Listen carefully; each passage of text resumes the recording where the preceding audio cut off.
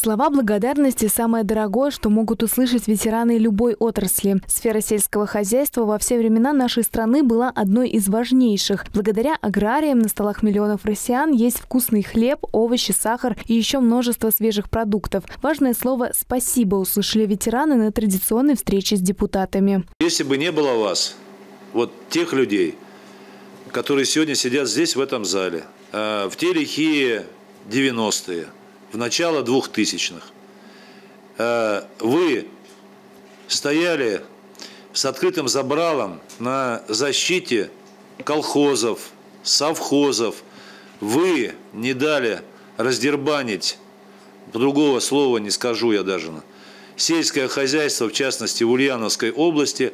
Это вы составляли костяк э, той э, аграрной политики, которая сегодня достаточно успешно развивается. Важно отметить, что сельское хозяйство держится и развивается благодаря районам Ульяновской области. В этом году увеличилось производство и реализация мяса и молока. Также в разы выросли продажи зерна, зернобобовых культур и картофеля. На заседании отметили, что все это плоды работы ветеранов.